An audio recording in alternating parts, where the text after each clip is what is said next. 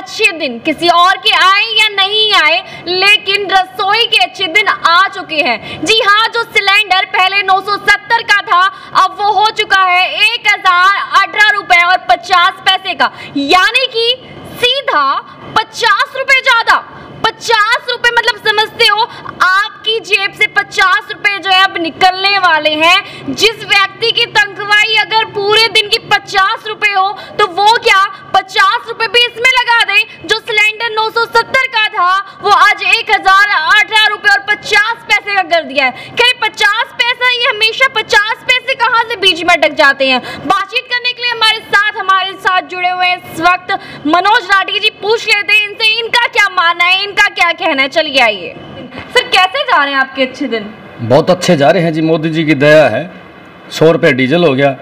गाड़ी में पहले पचास रुपये डीजल था काम ठीक चल करता। अब क्या हो गया? अब सौ रुपये डीजल हो गया बेबे। अब तो नू मान ले भाई हज़ार रुपया का तेल गला हिसार आवे है जावा है गाड़ी।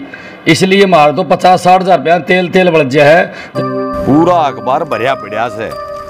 महँगाई अपराध लूटपाट।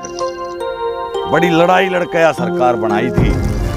हरिया भी उसी लेगड़ी जिसी पाथली ठीक कैसे भाई? इन भी दे रखी सब ताई छूट। चाहे कोई कितनी मचाओ लूट पर आपा करा भी के विपक्ष से ना बोलता दिखता एक का मानस से मैं माड़ा बलराज कुंडू जो इनके खिलाफ आवाज़ ठान लाग रहा है। अरे पर वो तो एक क्लास है। ना ना ना ना ई बेकला कौन है ई बलराज कुंडू ने मारी लड़ाई लड़न खातिर एक मंच बनाया से जन सेवक मंच या तो बहुत बढ़िया बात है फिर तो लोग उसके बारे में ठीक कहे हैं जो नेता नहीं यो से भाई और बेटा शासक नहीं यो से जन सेवक है हाँ पर ई बलराज भाई ने एकला नहीं छोड़ांगे उसकी गैर लगांगे बोले तू मेरे साथ में और यो ले जन सेवक मंच का झंडा हाथ में। जनसेवक मंच से जुड़िए। ये मंच ही नहीं हथियार है व्यवस्था परिवर्तन का। जब तेल तेल का खर्चा मोदी जी दे दे तो अभी जी जाओ हम तो। आज के दिन सबसे बड़ी अच्छे दिन तो मनोज राठी के दिन आ रहे हैं क्योंकि सौ रुपये तेल गलवाना पड़े। और आज सिलेंडर के पचास रुपये और बढ़ा दिए। हर पाँच दिन में, दस दिन में, पचास रुपये, साठ रुपये, सौ रुपये सिलेंडर के बताते बताते बताते बताते, हज़ार तो ऊपर टपा दिया बेबे। एक हज़ार अठारह रुपये पचास पैसे कर दिया सिलेंडर का रेट आज फिर सबसे बड़ी बात क्या है? कि बोला जी दिन अच्छे आ रहे हैं देश को बचा रहे हैं। हमने तो यही नहीं पता कौन बच रहे हर कौन मर रहे है। महँगाई चरम सीमा पर है अब तो लठबाजन का काम हो गया है। जी एक बात बताइए हमेशा पचास पैसे बीच में अटक के रह जाते हैं। इस बार भी इन्होंने यही किया एक हज़ार अठारह रुपए और पचास पैसे। पचास पैसे का क्या सीन है? पचास पैसे आगे पीछे अगर एक व्यक्ति पचास पैसे कम दे दे या ज़्यादा दे दे तो क्या वो ले लेंगे एजेंसी वाले? एजेंसी वाला मूल भी कौन ले? जब उसने कोई एक सौ पंद्रह, एक हज़ार पंद्रह रुपये दे दे तो कौन ले हुए एक हज़ार बीस रुपये ले होगा। डेढ़ रुपया एजेंसी वाला बचाओगा बेबे। हज़ारों लोग देवेंगे तो आप हिसाब लगा लो। अगर दो हज़ार आदमियों ने दिया तो डेढ़ रुपये के हिसाब तक कितने रुपये बच गए उसके? कितने रुपये बच गए? तीन हज़ार रुपये बच गए। तीन हज़ार तो वो नू कमा गया। और आम आदमी की गोश्त पंद्रह डेढ़ रुपया फालतू लग गया। इन्हें एक रुपया खुला मिला ना पचास पैसे खुले मिले। इसलिए यह भी एक सोची समझी प्लानिंग हो है कि पचास पैसे पिचहत्तर पैसे अस्सी पैसे इस प्रकार ये रेट रखते हैं। या तो राउंड फिगर में हज़ार रुपये रख दो या एक हज़ार बीस रुपये रख दो एक हज़ार तीस रख दो एक हज़ार दस रख दो। तो अपना सामान एमआरपी पर नहीं डिस्काउंट पर लो। और हिसार में डिस्काउंट कहाँ मिल रहा है? ये जानो सेल ट्रेंडिंग डॉट कॉम पर। Visit sale trending dot com पहले कंपेयर करो फिर शॉप करो। पचास पैसे रखे हुए सर क्या दिक्कत हाँ हाँ? है? बताने लग रहा है अपन ये दिक्कत है ना बेबे? यह दिक्कत है उपभोक्ता को मानना चाहो चारों तरफ़ से। अगर इसकी कैलकुलेशन काटो आप तो पूरे भारत देश के अंदर डेढ़ रुपया पर आदमी के लिए झाड़ा लग गया है पर सिलेंडर के लिए झाड़ा लग गया है। तो नू मान लो कई करोड़ रुपए का झाड़ा लग गया है। डेली अपने देश के अंदर कई करोड़ सिलेंडर बिके हैं। उसके हिसाब से अगर आप इसकी कैलकुलेशन काटोगे तो आप ये मान लो कि इसके अंदर एक करोड़ मान लो सिलेंडर बिके हैं। तो एक करोड़ के डेढ़ रुपए के हिसाब से फड़ा लो। कितने पैसे हो गए डेढ़ तो करोड़ क्या आज से पहले किसी सरकार किसी सरकार ने सिलेंडर और जो ये पेट्रोल का रेट चल रहा है कभी असली इसकी महँगाई जो है इसमें बताया आपको? ऐसे कैसे बताओगे? कैसे बताओगे? इन लोगों ने जो रेट बना रखे हैं। चलो पेट्रोल तो हम बीस रुपया गलवा लें। चाहे उसका रेट किमी हो। लेकिन सबसे बड़ी बात है सिलेंडर तो कौन लिया जा? सिलेंडर तो पूरा आवेगा उसके एक हज़ार एक सौ अठारह रुपये पचास पैसे देने पड़ेंगे। अगर हमने एक सौ अठारह रुपये बीस पैसे, पचास पैसे हो गए, एक हज़ार बीस रुपये दे दिए तो डेढ़ रुपया उल्टा कौन दे अगला? सबसे बड़ी बात तो यह है, ये बेबे सोचने और समझने की बात है। हम ये पब्लिक को समझाने लग रहे हैं। डेढ़ करोड़ रुपये डेली का झाड़ा लगाओ सिलेंडर वाले। कंपनी डेढ़ डेढ़ करोड़ का डेली का झाड़ा लगाओ फड़ा के देख लो।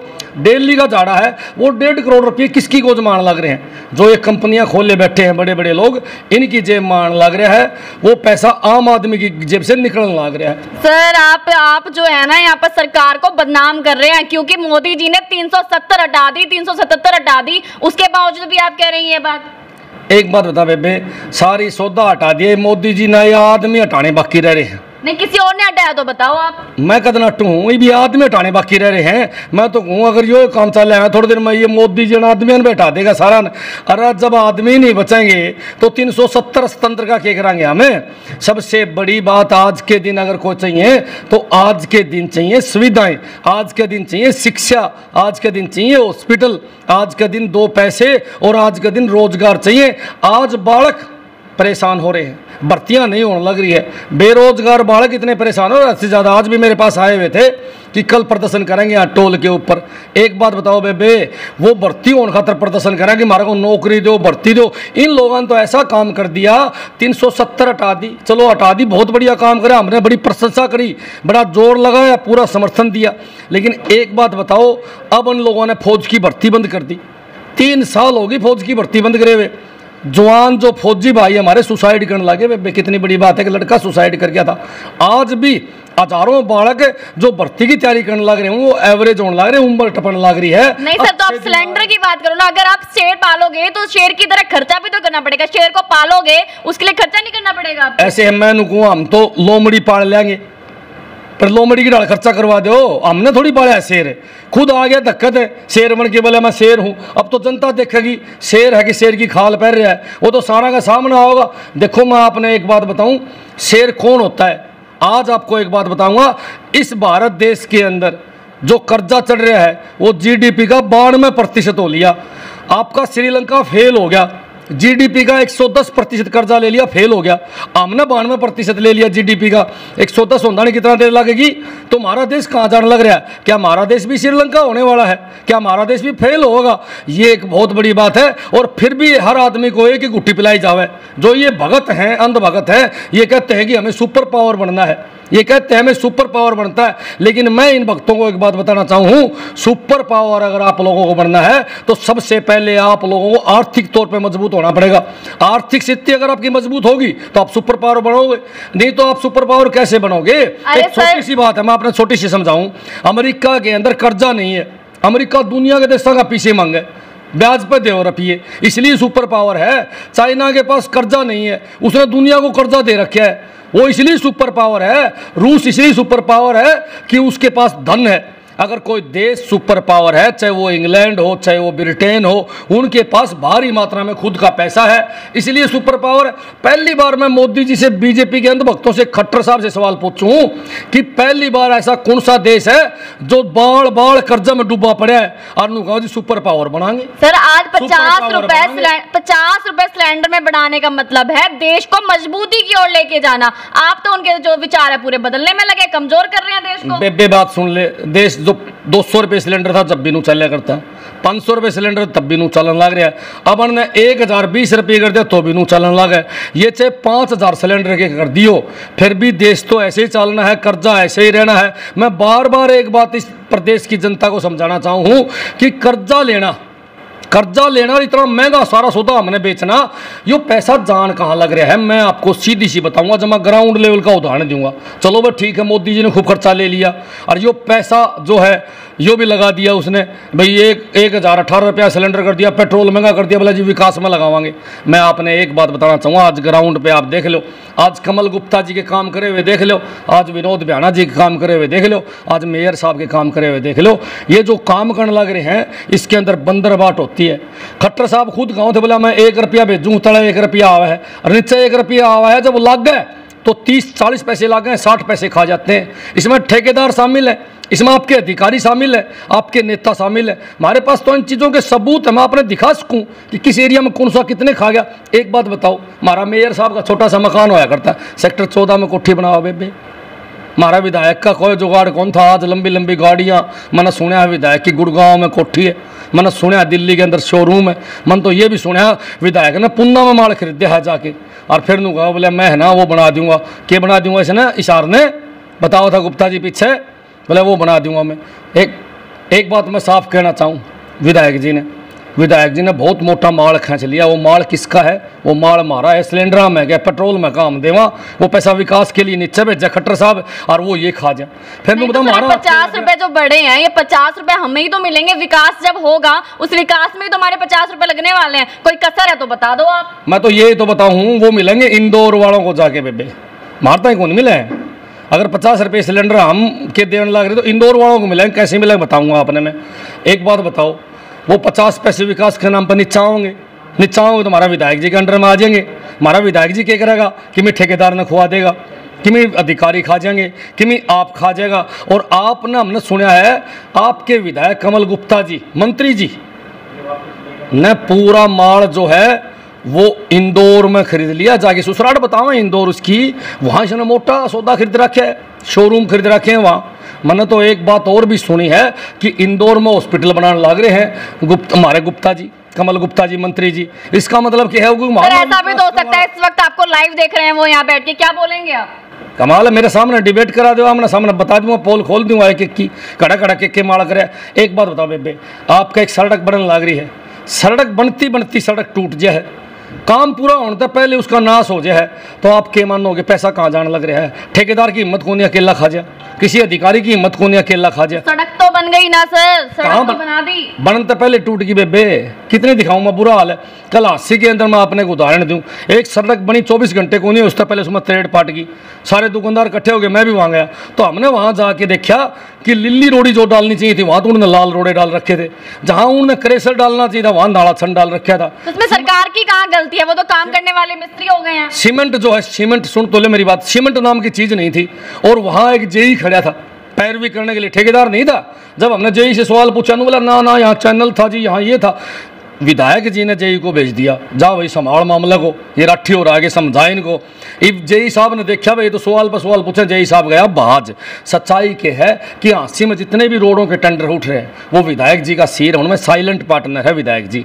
इस आरका को ठेकेदार है, उस पर पहले भी क्लेम पढ़ लिया, और वो पहले भ्रष्टाचार के आरोप लग लिए वो ही ठेकेदार को दोबारा टेंडर मिल रहा है। ऐसा क्या है कि पाँच दस ठेकेदार हैं, सिर्फ़ टेंडर उन्हीं को मिले हैं फिर नु ऑनलाइन टेंडर है, आज मैं एक आपको हकीकत बता देता हूँ। दुष्यंत चौटाला का महकमा है पीडब्ल्यू के अंदर रोड रोड के टेंडर निकले हैं, आपकी सड़कों के टेंडर निकले हैं। आसी के अंदर पिछले काफ़ी समय तक वो ठेकेदार उसके टेंडर लेंदे आवे हैं और बढ़िया रेट में टेंडर लेवे हमने पता चला कि रात को बारह एक बजे वो पोर्टल खोलते हैं। सिर्फ़ कुछ सेकंड के लिए, कुछ मिनटों के लिए। और तब वो रेडी होते हैं ठेकेदार। विधायक जी सेटिंग करता है उनकी। और इस काम के लिए दुष्यंत चौटाला दस परसेंट लेता है। कुछ देर के लिए पोर्टल खोल के जैसे ही वो अप्लाई करते हैं ठेकेदार पोर्टल बंद कर दिया जावे। इसलिए दूसरा कोई कंपीट कंपटीशन में आवा ही को नहीं। कोई ठेकेदार वहाँ फार्म भर ही नहीं पाता। इस तरह काम बांट दिए पूरे हरियाणा के अंदर। दुष्यंत चौटाला साहब ठेकेदारों को एक बात कहा है, जिसने काम चाहिए। मेरे को दस परसेंट पहले दे जाओ और अपना फार्म भर लो। बढ़िया रेट में आज ठेकेदार काम लेने लग रहे हैं। खूब प्रदेश को लूटने लग रहे हैं। जितनी लूट दुष्यंत चौटाला ने करी किसी ने नहीं करी। पीडब्ल्यू डी महकमा पूरा बेच दिया गया है। एक बात मैं जमा साफ़ बताऊँ आज कल जो टेंडर उठने लग रहे हैं, वो काफ़ी प्लस में उठने लग रहे हैं। पहले माइनस में टेंडर जाया करते। उसका कारण सिर्फ़ यही है कि दुष्यंत चौटाला ने एक नया फार्मूला ईजाद कराया कि कौन सा फार्मूला कि ऑनलाइन टेंडर भरे जाएँगे? बोला, ठीक है जी। अब जो पोर्टल है उसको बंद करके रखेंगे वो। रात को ठेकेदार से सेटिंग करके और उसी टाइम खोल लेंगे, उस टाइम पर वो ठेकेदार टेंडर डाल दे, फिर फिर बंद कर देते हैं। मैं पूछना चाहूँ दुष्यंत चौटाला से 24 घंटे क्यों नहीं खुला रखते आप? अगर आपने टेंडर देना है तो। आप क्यों नहीं उसको 24 घंटे खुला रखते?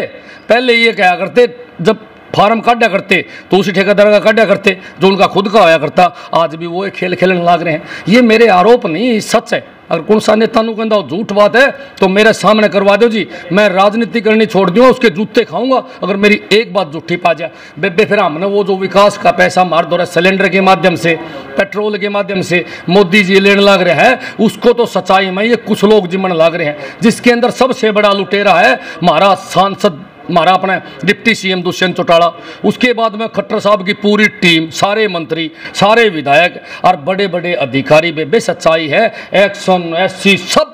एक भी अधिकारी ऐसा नहीं है जो पैसे नहीं सूटता हो। कुछ ईमानदार अधिकारी हैं, उनमें बेचारा खुड लाइन लगा दें। ऐसा नहीं कि ईमानदार अधिकारी नहीं है। ईमानदार अधिकारी भी है, उनको खुड लाइन लगाए रखें। जो सबसे बड़ा चोर सबसे बड़ा भ्रष्ट, वो सबसे बड़ी कुर्सी बजा के बैठता है और बिठाने वाला दुष्यंत चौटाला जैसे नेता है। ये सच्चाई है। ये मंदिर में बढ़ जी, नेम कर दे कौन सा नेता। भाई, मैं पैसे कौन खाऊं? मैं रिश्वत कौन खाऊं? मैं बेबे, आज ही राजनीति का जोड़ा धर दूँगा। चाहे एक नेता नेम कर देते उस बात का। एक बात बताओ बेबे, पैसा तो आम देवा। पचास रुपये बढ़ा दिए, मारे बढ़ा दिए ने। आम जनता के बढ़ा दिए। वो सारा पचास पचास रुपये इकट्ठे होके वो जाओगे कहाँ सरकार के पास? सरकार उसने विकास के नाम पर नीचे भेज देगी और फिर उसको मिलके नेता ठेकेदार अफसर खा जाएँगे। जनता को क्या मिला? ठन ठन गोपाल। नहीं तो जो, जो गरीब आदमी है जो पहले से ही इतने ज़्यादा कर्जे में है जो इनके पास खाने के लिए दो वक्त की रोटी तक नहीं है वो इसके लिए आवाज़ नहीं उठा रहे चुप बैठे तो आप कौन होते हैं सर इसकी आवाज़ उठाने के लिए? एक बात बताओ बेबे या सरकार या तो बात चाव है कि सारा देश गरीब हो जा और दो रोटियाँ खतर भाजदा हंडा जा। तार से को सवाल पूछने वाला बच्चा है कौन ही? अगर सरकार यह बात ना चाहे तो लोगों को सरकारी नौकरियाँ दे दे जो खाली पड़ी हैं। बेरोजगारी सरकार चाहो तो एक दिन में खत्म कर दे। मैं तो कहूँ, सरकार चाहो तो विदेश में भेज सके बड़कन लेकिन दुष्यंत चौटाला जैसे खट्टर साहब जैसे, और जो मंत्री महोदय हैं, विधायक महोदय हैं, उनकी सोच ये है, अगर आम आदमी को रोज़गार मिल गया, आम आदमी के पास पैसा आ गया, या आम आदमी को हमने विदेश भेज दिया और वहाँ से उसने पैसा कमा लिया तो वो तमने सिद्धेगा और तारी राजनीति खत्म कर देगा, और वो राजनीति के अंदर आके बैठ जाएगा। ये चाहे खानदानी नेता हैं ये। दादा परदादा बाबू खुद और फिर अपने बेटे की पाल बांधने लग जाए मेरे मेरे पास मेरा बेटा सीएम बने। नहीं तो गरीब- लोगों की ये गंदी सोच जो है ना यह एक गंदगी पैदा करती है कि गरीब आदमी को और गरीब कर दो मध्यम वर्ग को समाप्त कर दो और अमीर जो एक परसेंट हैं वो उनके गुलाम हैं। अमीर आदमी तो उनके खिलाफ बोलता नहीं क्योंकि पैसे कमाने हैं उसने तो। आज कोई बड़ा ठेकेदार है बोलता देखा अपने सरकार के खिलाफ। क्यों नहीं बोलता? क्योंकि उसको तो रुपये कमाने हैं, बोल लगा तो रुपये बंद। एक बात नोट कर लो, ये उन्हीं लोगों को रखना चाहते हैं जो इनके खिलाफ न बोल रहे और मार लुटवान में सबका बराबर का हिस्सा रखें। एक बात आप नोट कर लियो, मेरा खुलम खुला चैलेंज है। मैं तो आम जनता से हाथ जोड़ के एक बात की अपील करना चाहूँ। भाइयों, ये सत्य है कि आज कुछ लोग हमें लुटने लग रहे हैं। और लुटवा में कौन है? दुष्यंत चौटाला और विधायक आपके अफसर। सच्चाई है बेबे, या एक बहुत बड़ी सच्चाई है? और जो लूटने वाले बड़े बड़े आदमी हैं, पैसे वाले आदमी हैं, वो सरकार के खिलाफ कभी नहीं बोलते। न विधायक के खिलाफ बोलते, न मंत्री के खिलाफ बोलते, वो सिर्फ़ माल लुटने लग रहे हैं। यानी कि आधा प्रतिशत लोग ऐसे हैं जो माल को लुटने लग रहे हैं। साढ़े निन्यानवे प्रतिशत लोग चुपचाप बैठे उनको लूट, लुटा जाने लग रहा है। लूटने वाले आधे प्रतिशत। नहीं तो सर, वो गरीब व्यक्ति बोल ही नहीं रहे तो आपको क्या तकलीफ़ हो रही है? बताइए ना पहले। क्यों बेबे? मैं भी तो गरीब हूँ। मैं क्या अमीर हूँ बेबे। एक बात बताओ आज भी घराली गुस्सा हो रही थी। घराली आज भी गुस्सा हो रही थी? बोली सारा के मुद्दे ठावा तुम्हारा सिलेंडर महँगा हो गया महाराज जी करे को नहीं करे। सर अच्छे दिन आ गए हैं सिलेंडर महँगा हाँ, बहुत- बहुत अच्छा। बना रही है सरकार आपको। बेबे बहुत अच्छे दिन आ गए हैं। इब जूते पड़ने के दिन भी आओगे। मेरे जैसे जो गरीब आदमी है, मेरे जैसे मध्यम वर्ग के जो लोग हैं, उनका घराड़ी जूते मारेंगी। आज मजदूरी करने वाला सिलेंडर पर रोटी नहीं पो सकता। आप नोट कर लो। मजदूरी करने वाला तो वापिस चूल्हे पर आ गया बेबे। हज़ार रुपए का सिलेंडर कौन लेगा गरीब आदमी के बस की नहीं है। जो मध्यम वर्ग वाले हैं लोग, उनके, उनकी घराड़ी लठ मारे रोज। ले भाई सिलेंडर भर के। आज घरों में झगड़ा होने का मुख्य कारण यही है कि रसोई का सारा सामान महँगा कर देना। आज घर में तनाव की स्थिति है और आपस में होने का ये मुख्य कारण है। जिस रसोई का खर्चा महीने का दस हज़ार था, आज वो बढ़ा के सरकार ने बीस हज़ार रुपये कर दिया। और ये एक बहुत बड़ी बात है। मैं तो सारी बहना ने एक बात कहना चाहूँ। भाई, बात सुनो, शांति से, ठंडे दिमाग से काम लो। अपने घर घर वालों से, अपने बच्चों से मत लड़ो। या सरकार भ्रष्ट है। समय आने पे सरकार का झाड़ा लगाने का काम करियो। फिर भी मैं आपको एक बात बताना चाहूँगा। कुछ अंधभगत हैं जो कहेंगे इस मोदी जी तो सरकार को मज़बूत करे, सीमा मज़बूत करे। अरे पहले की कमज़ोर थी सीमा इस देश की, जब भी किसी दुश्मन ने हमारा कानी आँख उठा के देखी, हमने मुँह तोड़ जवाब दिया। अरे यहाँ तो बहुत मज़बूत है, फिर भी मैं उन अंधभक्ता ने एक बात बताना चाहूँगा। आज बीजेपी गवर्नमेंट, जो फौज की नफरी चौदह लाख थी हमारी चौदह लाख से घटाकर नौ लाख पे ले आई। रूस नफरी बढ़ाने लग रहा है। अमेरिका अपनी नफरी बढ़ाने लग रहा है। यूरोपियन देश अपनी नफरी बढ़ाने लग रहे हैं। चीन अपनी नफरी बढ़ाने लग रहा है। और भारत अपनी नफरी घटाने लग रहा है। यो कौन सा तरीका है? मेरे समझ में नहीं आया। देश को मज़बूत करने का। मोदी जी कहते हैं बड़े बड़े नेता कहते हैं, बोला, चार लाख, पाँच लाख संख्या कम कर दो फौज की, ताकि फौज पर वज़न कम हो जाए, तनख्वाह कम देनी पड़े। वे तो नू भी कहा कि फौज तो फ्री में तनख्वाह लेवे। लेकिन मैं उन नेताओं को एक बात कहना चाहूँगा, जिस दिन यह फौज नहीं होगी, जिस दिन ये सूरवीर नहीं होंगे, उस दिन वो बदमाश, आतंकवादी आप लोगों के बेड पर बैठे पाएँगे। ये पाकिस्तान, चाइना वाले आपका देश पर कब्जा करके आपको गुलाम बनाने का काम करेंगे। अगर इनको बचा रखा तो फौजियों ने बचा रखा है। कल इस बात का प्रोटेस्ट है। कल प्रोटेस्ट इसी बात का कि ज़्यादा ज़्यादा वैकेंसी काट के इन बच्चों को भर्ती करवाओ। आज़ाद भारत के अंदर पहली बार, आज़ाद हिंदुस्तान में पहली बार तीन साल से भर्तियाँ बंद हैं, फौज की तीन साल से। क्यों? क्योंकि नफरी घटाने लग रहे हैं, नीचे नीचे लग रहे हैं, बेबे सारा काम करने। ये सुना हमने तो ये फौज में बोला कॉन्ट्रैक्ट बेस पे भर्ती करेंगे।